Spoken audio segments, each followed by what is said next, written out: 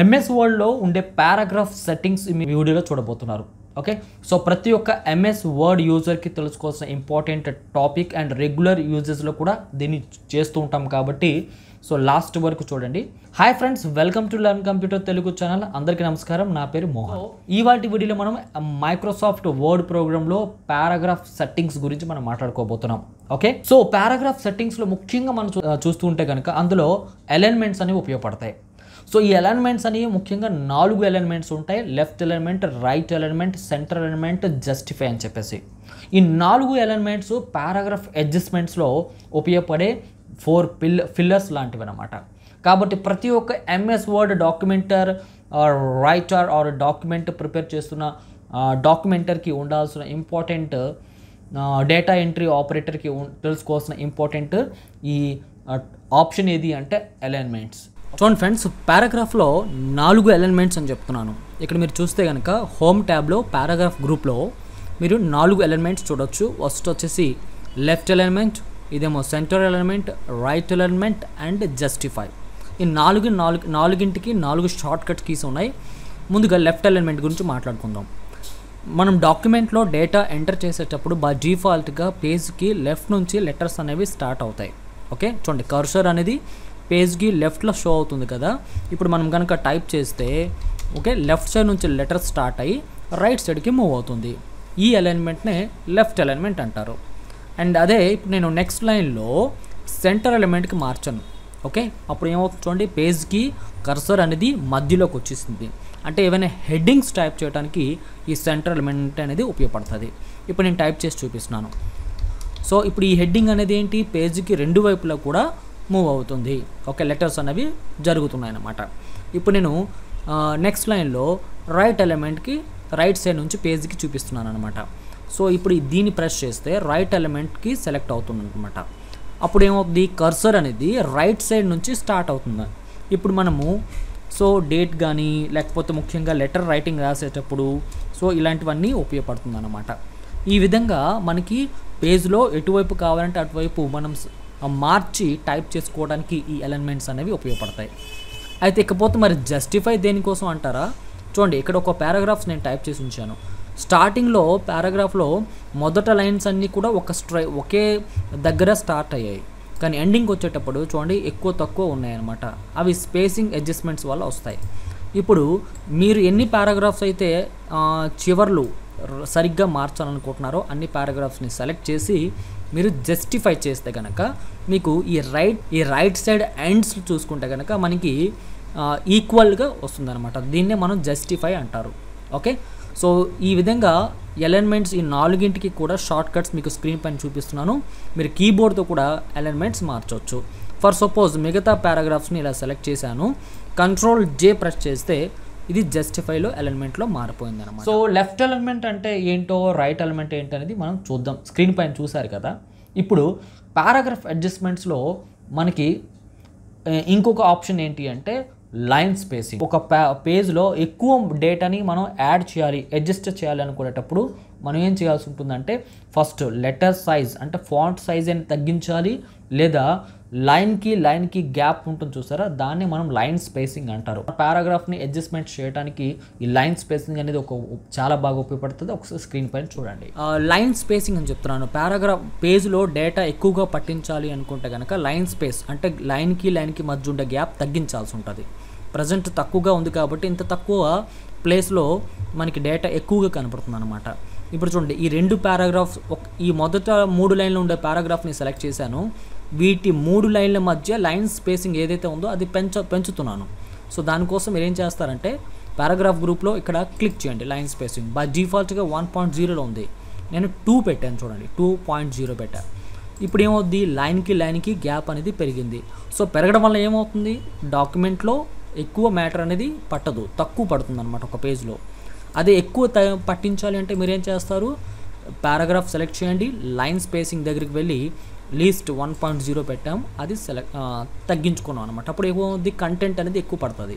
అదేవిధంగా మనకి line spacing ఆప్షన్స్లో మరి వెళ్తే ఇంకా చాలా మనం ఇంకా తగ్గించుకోవచ్చు. వన్ పాయింట్ జీరో కంటే తక్కువ పెట్టాలి అంటే లైన్ స్పేసింగ్ ఆప్షన్స్లోకి వెళ్ళాల్సి ఉంటుందన్నమాట.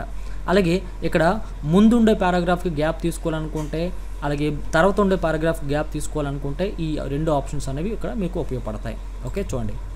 నేను నెక్స్ట్ పారాగ్రాఫ్ నెక్స్ట్కి ఇక్కడ గ్యాప్ తీసుకుంటున్నాను. అలాగే పారాగ్రాఫ్ మనం టైప్ చేస్తున్నప్పుడు కింద మనం పాయింట్స్ వైజ్గా కొన్ని ఇంపార్టెంట్ పాయింట్స్ని రాయాల్సి ఉంటుంది. సో అటువంటి టైంలో మనం కొన్ని నెంబర్స్ కానీ లేకపోతే కొన్ని సింబల్స్ వేయాల్సి ఉంటుంది. దాన్ని మనం బుల్లెట్స్ అండ్ నెంబరింగ్స్ అంటాం. అది ఏ విధంగా చేయాలో మీరు స్క్రీన్ పైన చూడండి. ఫ్రెండ్స్ చూడండి మనం పారాగ్రాఫ్ తర్వాత కొన్ని పాయింట్స్ని కొన్ని కొంత మ్యాటర్ పాయింట్స్ వైజ్గా రాయాలి.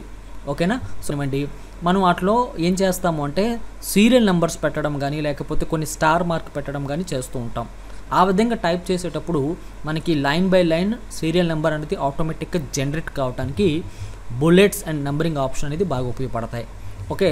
చూడండి అది ఎక్కడ ఉంటుందంటే పారాగ్రాఫ్ గ్రూప్లో పైన ఇవి చూస్తే కనుక బుల్లెట్స్. బుల్లెట్స్ మొత్తం మనం చూడాలంటే ఈ యారో మార్క్ మీద క్లిక్ చేయాల్సి ఉంటుంది. ఓకే? సో ప్రజెంట్ బుల్లెట్ ఎటు ఎటువంటి టైప్ ఆఫ్ బుల్లెట్ అంటే సిమ్ సింబల్ అవసరం మనం సెలెక్ట్ చేసుకోవాలి. నేనైతే ఈ రైట్ మార్క్ సెలెక్ట్ చేసుకున్నాను. సో మొదటి పాయింట్గా నేను ఫ్రూట్స్ నేమ్స్ నేను ఎంటర్ చేస్తున్నాను. మ్యాంగో చూడండి ఒక ఐటెం ఎంటర్ చేసి ఎంటర్ బటన్ కనుక కీబోర్డ్లో ఇస్తే మనకి ఆటోమేటికలీ సెకండ్ లైన్కి బుల్లెట్ అనేది జనరేట్ అవుతుంది. ఎంటర్ ప్రెస్ చేస్తే ఆటోమేటిక్గా నెక్స్ట్ ఐటెంకి కూడా మనకి బుల్లెట్ యాడ్ అవ్వడం మీరు గమనించాలి. ఎంటర్ సో ఇప్పుడు మనం ఈ లైన్ నుంచి మనకి ఈ బుల్లెట్ అవసరం లేదనుకుంటే కనుక సింపుల్గా మీరు ఇక్కడ పారాగ్రాఫ్ గ్రూప్లో ఈ ఆరో మార్క్ మీద క్లిక్ చేసి నన్ అని సెలెక్ట్ చేస్తారు. అలాగే ఆల్రెడీ ఎంటర్ చేసిన లిస్ట్కి మనం సెలెక్ట్ చేసి ఇంకొక బుల్లెట్లో కూడా మార్చుకోవచ్చు. ఓకే? అవసరమైతే నెంబరింగ్ సిస్టంలో పెట్టాలంటే పక్కనే చూడండి నెంబరింగ్ ఇక్కడ ఉంది. అండ్ uh, సీరియల్ నెంబర్స్ కానీ తర్వాత ఆల్ఫాబెట్స్ కానీ రోమన్ నెంబర్స్లో కానీ పెట్టుకోవచ్చు అనమాట ఓకే? అండ్ ఇంకొక విషయం ఏంటంటే మనం ఇందులో నెక్స్ట్ ఐటెం యాడ్ చేయాలంటే లాస్ట్ ఐటెంలో కర్సర్ పెట్టి ఎంటర్ నొక్కిన వెంటనే ఆటోమేటిక్గా మనకి కొత్త బుల్లెట్ అనేది యాడ్ అవ్వడం మీరు ఇక్కడ ఇక్కడ గమనించే ఉంటారు. సరే పూర్తిగా తీసేయాలనుకుంటే ఏం చేస్తారు? సెలెక్ట్ చేయండి. దాని తర్వాత ఇక్కడ నన్ను అని సెలెక్ట్ చేసేయచ్చు. మనం ఏదైనా ఒక పారాగ్రాఫ్ టైప్ చేసిన తర్వాత ఆ పారాగ్రాఫ్ని సపరేట్గా హైలైట్ చేయాలనుకుంటున్నారు.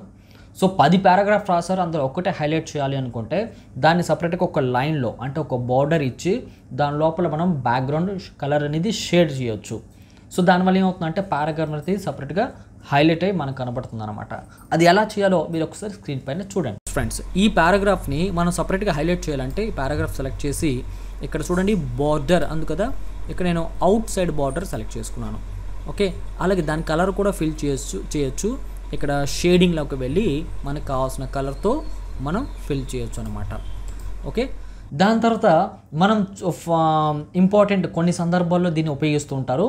అండ్ ఎవరైతే ఎక్కువగా డాక్యుమెంటేషన్ వర్క్ కంటిన్యూ చేస్తూ ఉంటారో వాళ్ళకి ముఖ్యంగా బుక్ ప్రిపరేషన్ అండ్ తర్వాత మ్యాగజైన్స్ ప్రిపేర్ చేయటం ఇలా లాంగ్ పేజెస్తో వర్క్ చేసే వాళ్ళు వీటిని ఉపయోగిస్తూ ఉంటారు. అవి ఏంటంటే ఇండెంట్స్. సో ఎలర్మెంట్స్ ఎలాగైతే నాలుగు ఉన్నాయో అలాగే ఎంఎస్ వర్డ్ ప్రోగ్రామ్లో ఇండెంట్స్ ఇంకా కూడా నాలుగు ఇండెంట్స్ ఉంటాయి. ఈ ఇండెంట్స్ యూజ్ ఏంటనేది మీరు డైరెక్ట్ స్క్రీన్ పైన చూస్తే మీకు అర్థమవుతుంది. అండ్ uh, ఫైనల్గా మనకి ఇండెంట్స్ యూజ్ ఏంటో చూపిస్తున్నాను మీకు. చూడండి మనకి పారాగ్రాఫ్గా టైప్ పారాగ్రాఫ్స్ టైప్ చేసేటప్పుడు ఇక్కడ మనకి నాలుగు ఇండెంట్స్ ఉంటాయి. ఈ చూడండి పైన ఈ రోలర్ పైన ఏవైతే ఉన్నాయో ఈ చిన్న సింబల్స్ వీటిని ఇండెంట్స్ అంటారు. ఈ రోలర్ కనిపించకపోతే మీరు ఏం చేస్తారు? వ్యూలోకి వెళ్ళి ఇక్కడ ఇక్కడ రోలర్లో టిక్ మార్క్ అనేది పెడతారనమాట సో నేను ఇప్పుడు పెడుతున్నాను వచ్చింది కదా. ఈ పైన ఇప్పుడు చూడండి వీటినే ఏ వీటినే ఇండెంట్స్ అంటారు. ఇక్కడ పైన ఉండేది ఫస్ట్ లైన్ ఇండెంటు మధ్యలో ఉండేది hanging indent and left indent and right side ఉండేది రైట్ ఇండెంటు. ఈ ఇండెంట్స్ ఎంతవరకు అయితే ఉంటాయో డేటా అంతవరకు టైప్ అవుతాయి అన్నమాట అంటే ఇప్పుడు మొత్తం పారాగ్రాఫ్ అంతా కూడా రెండు ఇండెంట్స్ మధ్యలో ఉన్నాయి చూడండి. లెఫ్ట్ ఇండెంట్ ఇక్కడ ఉంది అండ్ రైట్ ఇండెంట్ మధ్యలోనే డేటా టైప్ అవుతుంది. ఇప్పుడు నేను నెక్స్ట్ పారాగ్రాఫ్ నుంచి ఈ లెఫ్ట్ ఇండెంట్ని కాస్త ఇటువైపు తగ్గించుకున్నాను. అంటే వన్లో పెట్టుకున్నాను. రైట్ ఇండెంట్ని కూడా సిక్స్త్లో పెట్టుకున్నాను పో పొజిషన్ ఓకే ఇప్పుడు చూడండి నేను పారాగ్రాఫ్ని టైప్ చేశాను. పారాగ్రాఫ్ టైప్ చేయకుండా సింపుల్గా లెటర్స్ మాత్రమే నేను టైప్ చేస్తున్నాను. ఎందుకంటే మీకు కనబడుతుంది ఎగ్జాక్ట్గా చూసారా? ఈ రెండు ఇంటింట్స్ మధ్యలో మాత్రం డేటా టైప్ అవుతుంది. ఇక్కడ నుంచి అన్ని పారాగ్రాఫ్స్ని ఈ రెండింటి మధ్యలో టైప్ చేసుకోవచ్చు అనమాట అలాగే ఇప్పుడు నేను నెక్స్ట్ లైన్ నెక్స్ట్ పారాగ్రాఫ్ నుంచి ఇక్కడ మీకు ఏం చేస్తున్నానంటే ఫస్ట్ లైన్ ఇండెంట్ని పెట్టాను అనమాట అంటే ఏంటి? పారాగ్రాఫ్లో మొదటి అక్ష మొదటి లైన్ అనేది మొదట నుంచి స్టార్ట్ అయ్యి అంటే లెఫ్ట్ ఇండెంట్ నుంచి స్టార్ట్ అయ్యి మిగతావన్నీ కూడా మనం ఎంత గ్యాప్లో అయితే ఇచ్చామో అంత గ్యాప్ నుంచి ఇక్కడ స్టార్ట్ అవ్వడం గమనించవచ్చు. ఇదేమో దీన్ని అండ్ ఇకపోతే ఇది హ్యాంగింగ్ ఇండెంట్ చూడండి దీన్ని నేను జీరో పొజిషన్లో పెట్టాను. ఫస్ట్ లైన్ ఇండెంట్ని వన్ పోస్ట్లో పెట్టాను. మొదటి లైన్ మొదటి నుంచి వస్తుంది. మిగతా లైన్స్ అన్నీ కూడా మనకు మొదట జీరో పొజిషన్ నుంచి స్టార్ట్ అవుతాయి అన్నమాట. ఓకే? ఐ హోప్ మీకు అర్థమైంది అనుకుంటున్నాను. సో ఫ్రెండ్స్ చూసారు కదా పారాగ్రాఫ్లో మీకు మ్యాక్సిమం యూజ్ అయ్యే ఆప్షన్స్ అన్నీ కూడా మీరు తెలుసుకున్నారు. అండ్ మీకు ఏది నచ్చింది? అండ్ మీకు ఏమైనా డౌట్స్ అండ్ సజెషన్స్ ఉంటే కింద కామెంట్ సెక్షన్లో తెలియజేయండి. Previous MS Word program all parts అన్నీ కూడా మీకు చూడాలనుకుంటే కింద డిస్క్రిప్షన్లో లింక్స్ ఉన్నాయి. కొత్తగా నేర్చుకునే వాళ్ళందరూ కూడా ఆ ప్లేలిస్ట్లోకి వెళ్ళి అన్ని పార్ట్స్ వన్ బై వన్ చూసి నేర్చుకోండి. ఓకే సో ప్రతి వీడియో చూసిన తర్వాత దాని కింద దానిపైన అభిప్రాయాన్ని కింద కామెంట్ సెక్షన్లో తెలియజేస్తూ నచ్చితే లైక్ అండ్ షేర్ చేయటం మాత్రం మర్చిపోవద్దు. సో నెక్స్ట్ ఇంపార్టెంట్ వీడియోలో మీట్ అవుతాను. అంతవరకు సరే తీసుకుంటున్నాను. థ్యాంక్ యూ నమస్తే